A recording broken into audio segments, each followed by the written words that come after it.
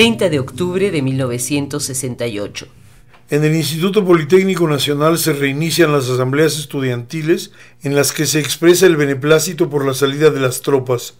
La desocupación de las escuelas permite hacer de nuevo asambleas y determinar el rumbo que deberá imprimirse al movimiento, señaló un estudiante.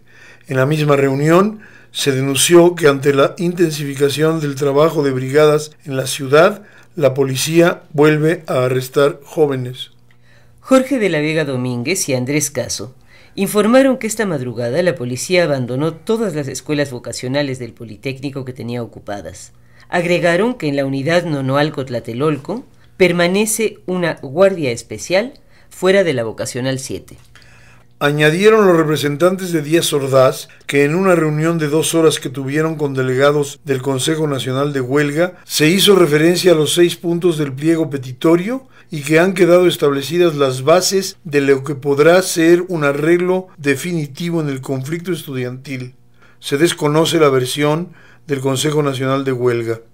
El subdirector administrativo del Instituto Politécnico Nacional, Carlos Borges, coordina la elaboración de un inventario de los planteles que estuvieron ocupados por el ejército y la policía.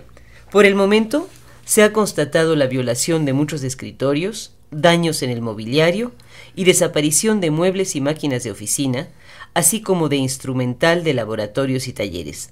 Al recorrer las instalaciones se tiene la impresión de que hubo un desordenado saqueo. La Escuela Nacional de Ciencias Biológicas parece la más afectada por el paso de los soldados. Y este es un resumen de lo ocurrido el día de hoy, 30 de octubre de 1968.